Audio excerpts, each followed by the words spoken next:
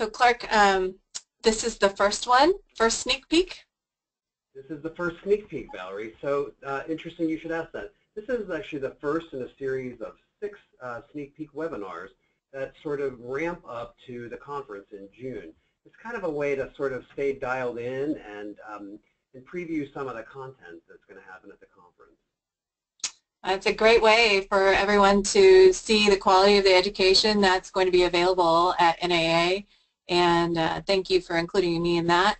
I, I think that, you know, NAA is definitely one of the, the best conferences out there for anyone needing to expand their horizons and, you know, figure out how to grow their career by, you know, ed educating themselves and finding out what more they can know. It's, it's very exciting for me. I mean, you know, it's obviously the lion's share of my of my work uh, in in my in my office life, and um, I always think of it as a meeting of the tribe because it really brings everybody together, and it really helps people have a sense of belonging that's kind of um, really unique. I don't know any other event that can um, can draw together a whole industry like that, at least within multifamily housing, of course. Yeah, it's wonderful. So, uh, Valerie, it looks like uh, that we're ready to roll. So um, okay. Without further ado, I just want to welcome everybody today. Um, this is our sneak peek webinar. It's in the pause, Emotional Intelligence in Action.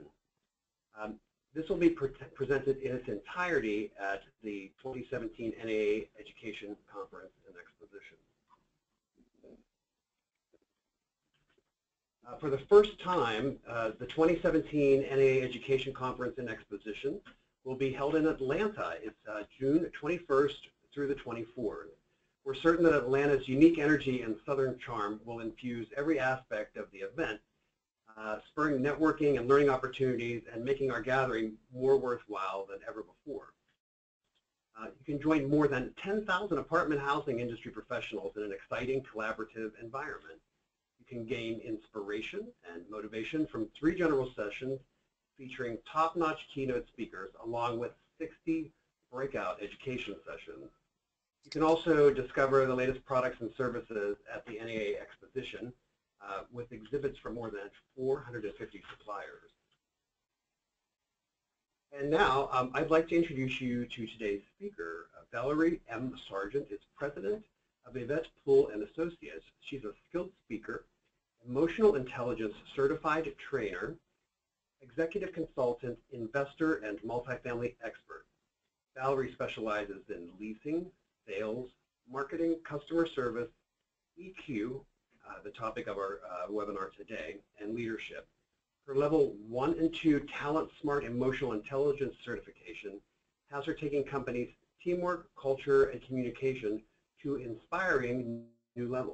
After over 26 years in multifamily, this expert knows how to bring vitality to individuals and organizations. Welcome, Valerie. I'm so glad you could join us today. Me too. Thank you so much. I appreciate it. And uh, some of you that don't know me may not know that, that I did kind of grow up in the industry. My mom was an apartment manager. She was in marketing and training. And um, I actually uh, started in the business when I was home summers from college. So I started out in the field as a leasing consultant, went into marketing and training myself, and then Yvette and I formed our own business in 2005. And Talent Smart is an organization that I actually went to to get a certification to teach their curriculum and be able to use their appraisal systems because it's so robust and well researched. And I wanted the ability to have a right to speak about this topic that I'm so passionate about. So I'll tell you a little bit more about how I came to the education and how I, you know, really got interested in emotional intelligence as we go on. So I, um, Clark, I think you have handed the controls over to me. I have indeed. I am not moving forward yet. Okay, so um, I'll advance for you and I'll pass again. So um, Okay. So let's, let's talk about when people work together and see if this is working for me now too. When people work together, you know, I like to think of it back in uh, the dating scenario too, how people bring a lot of baggage into a relationship. And people tend to bring baggage into the workplace as well. And Clark, it's still not advancing for me for some reason. I Okay, don't know. Just just a second and take uh, uh, and, and focus on this. I'm going to go ahead and um, pass the keyboard, and um, uh, you have to wiggle your mouse. Okay, wiggling mouse, mouse wiggle. And there you go. let's try that now. Still not advancing. Try your try your arrows.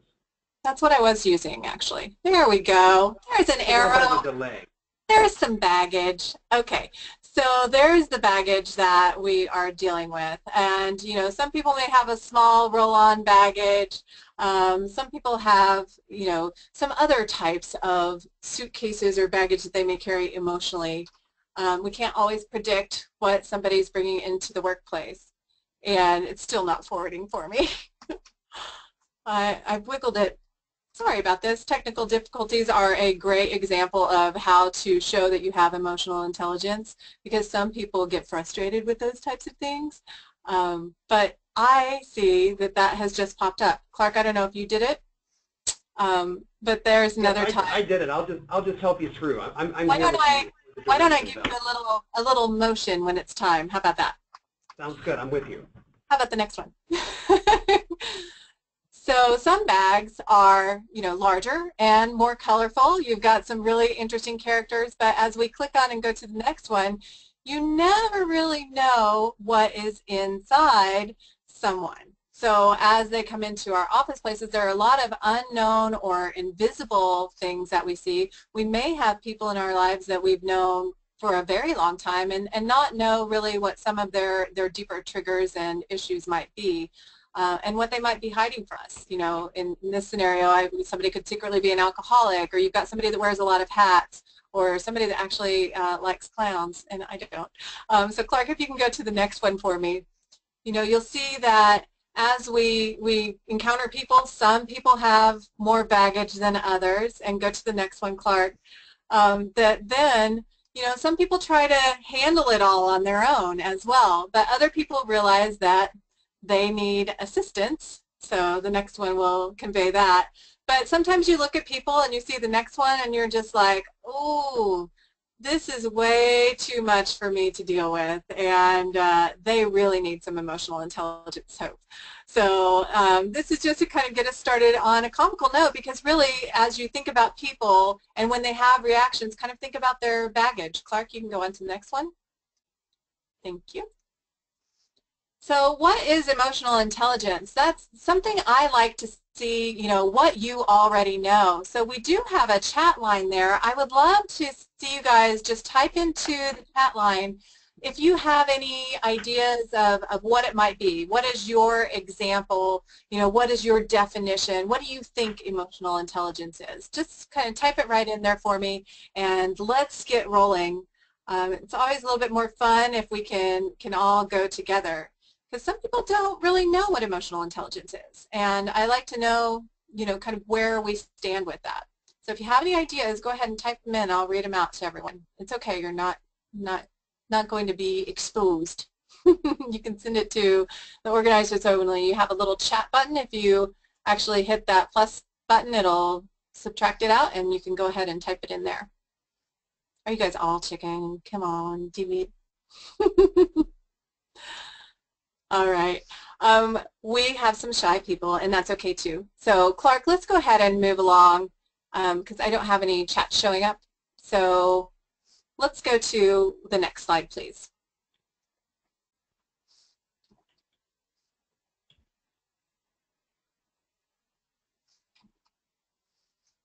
A lot of people think, actually I think it's working for me now, a lot of people think it looks like this, that you're happy all the time, that you know, you're just in a good mood, that you don't ever get angry. Some people think that that's what emotional intelligence is. It's just being nice to people. But really, that's not what it is. So Clark, it looks like I'm back in charge of the keyboard. So um, emotional intelligence is actually being able to use your emotions intelligently to gain the performance that you wish to see within yourself. Um, but also to use that with other people. It's your ability to recognize and understand your own emotions and then your skill at using that awareness to manage yourself and to manage your relationship with others. And um, that's Daniel Goleman there on the left. So the reason I got interested in emotional intelligence in 2005 when Yvette and I formed our training and consulting firm um, we were, you know, figuring out what direction we wanted to go, and I was at a training conference. And emotional intelligence was one of those topics that was being covered, and Daniel Goleman was speaking. And Daniel Goleman is actually the person who wrote the book back in 1995, Emotional Intelligence, and really brought it to the workplace. Now, he is a psychologist. He was a reporter on the brain and behavioral sciences. He actually was um, twice nominated for the Pulitzer Prize, and he's contributed to Harvard Business Review. He's riveted, riveting when he talks about it because he has so much research behind it. And I just was fascinated with it as a topic. So that was back in 2005 that I first encountered him. And then, you know, we, we just went along our way. Um, but what I found was that as I started paying attention to things, people were exhibiting exactly what he talked about in his presentation and I realized that emotional intelligence is in every workplace and it was something that we really need in our industry because I, you know, remembered being a young leasing consultant and coming up. So as a leader, let's talk about the core leaderships that are involved and how emotional intelligence plays into that. So there are core leadership skills that you actually use and, and that people really identify as kind of like the natural leadership skills. So these are strategy, action, and results. And you look at these, and these are pretty much the skills that get people promoted into leadership. You have um, looking at someone, you have known them to be like a born leader. You're like, oh, they were just born to lead. They're awesome. And then they're also the foundation of effective leadership. So I'm not going to go into these in too much detail today, simply because I do want to focus on the emotional intelligence aspects of that, which are actually um, covered in more detail. But as you look at strategy, action, and results, you know, you're looking at what is your vision on things and your business acumen. You have to have the courage to lead. Action is being able to not only you know, decide what you want to do, but to take action on it because a lot of people have good ideas that they never act upon. And then results is really focusing on that risk taking. But then we go into the adaptive leadership skills. And these are probably even more significant and important because they're a unique combination of your skills, your perspective, and your guided effort that really takes you to the level of true excellence as a leader. And those are emotional intelligence, character, organizational justice, and development. And you'll see that some of the things in the, the final three, you know, character involves your integrity, doing the right thing when no one is looking. And are you credible? Are you authentic? Are you someone that people trust? You know, your organizational justice, decision fairness, that really creates your team loyalty. And can information be shared easily? Can people communicate effectively back and forth? And then your development level do you believe you know it all or are you a lifetime learner that you really want to grow in your position, grow within your company, and help your company grow within its place in the market? And then also being able to develop others. There are some people that are scared to let employees go because they know that they will have to fill those shoes. But when you're creating bench strength, it's an asset for the company and it helps the company grow. But probably most important of these, uh, in my opinion, is emotional intelligence. And there are four components involved in your emotional intelligence. And this is sometimes known as, you know, EI is, is something that it's referred to. And then when it's talking about your emotional intelligence, that's your EQ. So it's actually composed of four different things. So your self-awareness, which is perceiving your emotions within the moment itself and understanding what your tendencies are. You know, how you normally react to situations. What do, does it, what typically triggers you.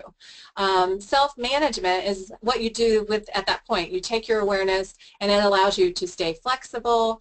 It allows you to direct your behavior in a positive capacity you know, you can manage your emotional reactions with people and to situations. Your social awareness is, you know, kind of being able to read the room.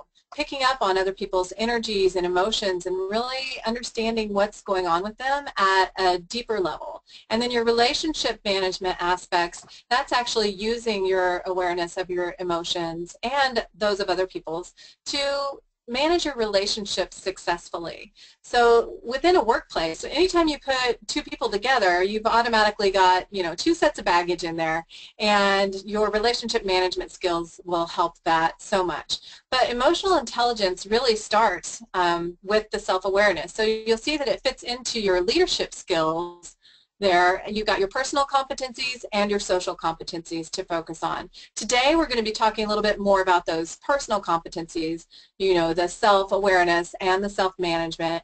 And you'll see that that's just recognizing it within yourself and then also being able to regulate that. And um, as we go forward and explore our self-awareness, you realize that there are some things that you need to be looking for. And it's it's understanding ourselves at a deeper level. And you really want to understand what pushes your buttons or who pushes your buttons or what type of person pushes your buttons. And a person with a high level of self-awareness has these aspects. You know, they're open to what's happening around them. They value feedback from other people. You'll see some people that get defensive when they're given feedback, but somebody that is valuing it really wants to grow and be better they maintain a sense of humor under difficult situations. So in high levels of stress, you know, they're able to kind of balance themselves out maybe with a little bit of humor. They're able to see the bigger picture too, um, and they get perspective on a situation. If something happens that is a mistake, they they learn from that, and then they take the lessons and reflect on that and go forward. And then they're also very open to change. So the thing to keep in mind about self-awareness is that our past plays a huge part in how we interpret the behavior of other people. So you think about emotions in the workplace and things that happen. And I actually asked um, the question to some friends about, you know, what, what sets you off or what have you seen that was maybe inappropriate in the workplace. And man I got some great stories. Boy we have some fun don't we with some of those residents that come in and they're yelling at us. But also I heard some stories about coworkers that reacted inappropriately. In a lot of my, my training that I do, it's with regard to dealing with the team. And there are certain things that just, you know, either set people off or make them really happy or sad, or you don't know what's going on with people at a different level. And um, some of the stories that I heard, oh, there was an executive that got really frustrated and he took a bagel with cream cheese and threw it across the room and it hit this girl, got, you know, cream cheese all over her suit. He never apologized. And um, somebody else that, you know, they were out working with the team, had some suggestions for the team, and apparently that supervisor got upset and asked to see that person outside and started yelling at them outside where the team inside could hear them and ended it with an expletive, you, and um, that didn't go over well. She did call later to apologize, but, you know, these are the things that happen when we are triggered in some way. So you'll see that there are so many different emotions in the workplace and we have to just try to figure out how do we handle those. And so, you know, our brains are reacting to things and this is happening because we, you know, are relying on what we've learned in the past. You know, in the past when this happened, it was a bad thing. You know, you rely on your instincts. What did your parents teach you? What did your mentors teach you? What did you learn from previous managers? You know, these are people that teach you what they know, but sometimes what people know that they taught you is not the best way to handle a situation. You know, what is your image of yourself that you're trying to project? And if somebody is tarnishing that idea of your image, you may get defensive or upset about that. What are your beliefs that you hold? People have a lot of values. If somebody bucks up against someone's value system, that creates friction. You know, your goals, what are your lifestyles, the prior jobs that you've had. These are all things that play into our reactions and that we have to be really self-aware so that we can manage ourselves effectively. So the thing I want you to really focus on with regard to emotional intelligence is probably my favorite thing, our brain. Our brains are so amazing and powerful and they enable us to handle this all, you know, if we know how to train them properly. So you'll see neural pathways over there. We have these neural pathways that have formed within our brain. So they're like little grooves in our brain that when one thing happens, then we're going to react in that same way every time because that's what we've been taught. The beautiful thing about emotional intelligence is that it is a skill that can be developed. So you can learn how to be more emotionally intelligent whether it's handling you know conflict within the office within a team or it's handling conflict with your residents, you can learn how to react in better ways so that you have better results. So you'll see the amygdala over there on the right.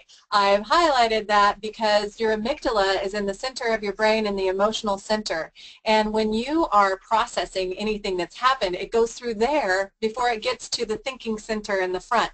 So it actually has to go through your brain, whatever it is that you've just seen or just experienced, and it hits your emotional center first. That's why you see people fly off the handles that's why they, they get so upset about things is because it doesn't get to that logical area of their brain until later. And the thing about your amygdala is it, it is your friend. It's just trying to keep you safe. But it can also cause overreactions. And it sends you into a fight, flight, or freeze mode. So you've got your, your sympathetic nervous system there on the left, and that's what gets set off. Like that'll cause your heart to beat faster. It'll cause you to sweat. It'll cause your eyes to dilate you know, all of the things that happen when you are in a stressful situation, that's what causes those reactions. But your parasympathetic side is what calms everything down afterward. So um, when people are stressed out, they either want to fight back or they want to run away, or sometimes when they're in a situation where they feel like there's no hope, they just freeze. A lot of dogs will do that when you actually see them. Uh, they're trying to hide from you when they're doing something wrong. They go into freeze mode. So um, this is something that you guys can keep in mind. Um, SEL, so social emotional learning. The thing that, that really, you know, I guess grabbed me was that we're not taught in school how to manage our emotions. There are some schools that are now incorporating some social emotional learning. So this is something that's done for some children like of grade school age and having them picture a stoplight and if they're starting to feel upset, you know, picturing a red light, actually visualizing that and, you know, encouraging them to calm down before they move forward with whatever it was that was setting them off. So that's something that you can even use as a visual yourself if you catch yourself. The self-awareness portion is being able to catch yourself if you're reacting to something. And, um, you know, if you start to feel a little bit better, you can picture a yellow light. When you get to the green, then you know you're good to go. But I would love to see more social emotional learning in our schools because right now we're not teaching people how to manage those emotions. They're figuring it out through parents, through coaches, through whoever might be helping them. And I remember being on a, a, property one time doing a consulting project and there was a young lady there. She was an excellent leaser. She was so good at her job. And she was having an overwhelming day personally. And brought it into the workplace and everyone was impacted by that because you know we are all bundles of energy and energy like that spreads. And I took her into the office. I said you know what? Maybe you need to ask your manager if you can have a personal day if it's really that bad because otherwise you need to learn to leave this outside the office. And she started crying and this got me so much because she said no one ever taught me how to leave things outside. And you know, I understood in that moment that people aren't taught these things. And it was really powerful to, to see. And, you know, I tried to give her some resources and, and some, you know, books and things like that that she could read. But, you know, this is something that is very important and we need to teach our youth and we need to, to teach one another. So that's why this work is so important to me. So here are some ways that we can keep emotions in check. You know, with regard to your emotions, you really are in charge of how you react. Your negative emotions, they challenge your mental strength and it's, it's not possible to not feel emotions. It, and you wouldn't want to do that anyway. But it is completely within your power to manage them effectively and to really maintain control of those emotions. And as you do that, I developed this phrase, it's in the pause, because for me, that's where emotional intelligence happens. It's the space where emotional intelligence happens when we just pause before we move forward. Anytime that we're uncertain about something, we take that time to really pause and think through it. You know, if we're self-aware enough to catch ourselves in that moment, then we're able to be far more effective moving forward. So I don't know how many of you watch the TV show This Is Us. To me, it's like the best people show on television. It's phenomenal. And um, this is a dad and his son. And the son has a tendency to get anxiety and starts going into a panic mode and the dad will you know take his his head within his hands and just have him breathe with him and that's what so many of us under stressful situations do our breathing gets shallow um, and we stop breathing altogether. Sometimes I'll hold my breath if I'm feeling stressed and I forget, oh, okay, I need to breathe or I could die. And um, But breathing through something, if you catch yourself in a stressful situation, try to breathe deeper so that you're breathing through it and it will automatically impact that parasympathetic nervous system and it will calm you down. So if you're feeling like you've got a heightened level, then you can do that. Another thing that you can do is pause for clarity. You know, do you really understand the situation at hand? Do you understand what is coming at you in that moment? Um, ask more questions of someone and, you know, reduce your assumptions. A lot of times we jump to conclusions about things. Um, we don't have all of the information necessary, so asking questions, getting more information, if we're pausing for clarity, that can help a situation not escalate as well. Another thing, you can pause to reframe. That was one of the few images I found for framing that I liked. But reframing the issue, like maybe you're having a day where you feel more sensitive, and you you can re reframe it like, gosh, you know, I, I think maybe I'm really sensitive today. Or change the variables. Look at it differently. If you had the same situation with a different person, would it set you off as much? Um, would it be upsetting if it were at a different time? Like if it were different timing, you know, would it have the same impact on you? That's another thing that you can look at. You know, pause to learn what your triggers are. So many times people have triggers that they have no idea about and they're always buried deep within the past, whether it's um, from parents who were neglectful to feeling like the odd one out, um, to you know anything that has happened to you that maybe embarrassed you. Um, it can be people. I had one gentleman after a keynote come up to me and say, thank you. I never realized that I kept reacting to my boss so badly because he reminded me of my abusive stepfather. So these triggers can be very powerful and you need to be mindful of those.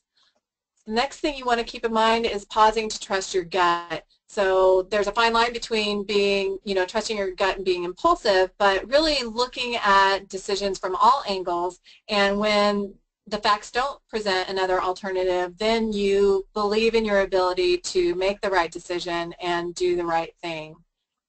Pause to quiet your mind. This may be with meditation, it may be with going out and taking a walk, but just stopping that chatter that's happening. You know, maybe it's listening to a song, a song that you find soothing anything that gets you to stop those voices because it's the negative impact from that roommate in your head that is constantly chattering that you want to avoid. And um, actually there's a great book about that by Michael Singer, The Untethered Soul. You might want to look that one up. Pause to see the similarities and not the differences. When you are feeling so much conflict with someone, instead try to look for how you are alike as opposed to how you are different. We've had such a, a combative election season and I think you know, workplaces are still suffering from those people that were exposed to the opposite viewpoint that they didn't agree with. And um, there are a lot of people that, you know, need to focus on the similarities and need to focus on the job at hand. Pausing to listen to your body cues as well. Thinking about the last time you got really upset and what happens within your body. You know, what are the physical cues? What drives your emotion? You know, how often does it happen? Really keeping track of these things so that you learn to recognize them every time. Pause to know when you're just acting cray-cray. You know, sometimes we just are a little bit on the other side of where we should be. So self-awareness can help you realize those moments too. So there is a, a, response that happens with a trigger. You know, we we have a moment where we can prevent it um, and recognize it and de-escalate it, or it'll completely escalate into a crisis mode, and then we have to cope with the aftermath and, and go into recovery. So um, that's something that we are going to talk about as we move forward in Atlanta. Some things to come in Atlanta in addition to what we've covered today are de-escalating emotional situations. We'll also talk about six leadership styles that affect your teams and productivity, how emotional intelligence impacts you, and how it also creates your company culture. Find out how your employees feel and the dynamics that you're fostering in an environment. You're going to work on employee motivation with me and also setting the tone. I'll give you some tips on how to develop your EQ strengths so that you can grow your emotional intelligence. So I actually had um, Cindy Babin, one of Kate Good's friends, shared this yesterday um, when she heard about this session, and it just cracked me up because it's a take on uh, the help. And it says you is stressed, you is getting yelled at, you is property managing. And that is what happens sometimes in property management. But what I thought was beautiful about her using this is the fact that Viola Davis's character in this movie was actually so emotionally intelligent. She had a, a young girl who was not paid much attention to, who had challenges because her mother wasn't always active in her parenting. And she would say to her, you is kind, you is smart, you is important.